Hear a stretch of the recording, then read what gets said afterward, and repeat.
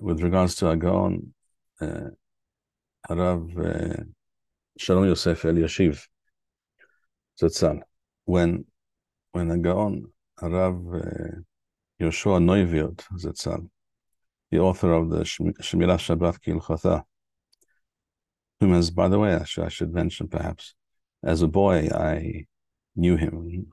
So I, I knew him really very well, but I, I uh, we we my father and I often uh, davened in the same shul when this is during the short period when I when I was 11 years old when we lived in Bayit Vegan in in uh, in Yerushalayim.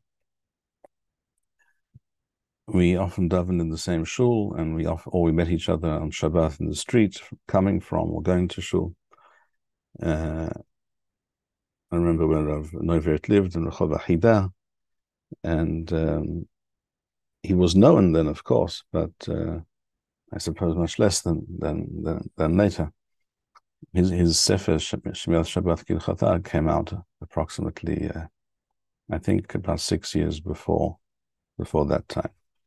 So, at any rate, when Rav Yehoshua Neuwirth, who was a Talmid Muvhak of Hagon uh, Rav uh, Shlomo Zalman Auerbach Zatzal, but um, particularly after Rav Auerbach passed away, he used to go and speak and ask questions and what have you of Rav Elyashiv. Rav Elyashiv, it is reported, when Rav Neuwirth would enter the room, uh, he would stand.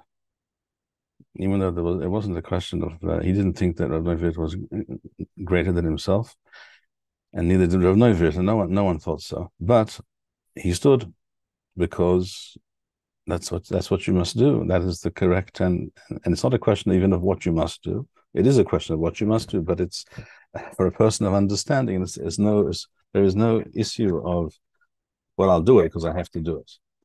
It's it's something that you do because it is. Of course, that is what you do. It's obvious that you, this is what you do. So, a, a, a great chacham in Torah, uh, as Rav Elyashiv considered Rav Neuwirth to be, uh, even though he was his Talmid uh, in practice, or he became his Talmid over time, uh, he stood when he entered the room.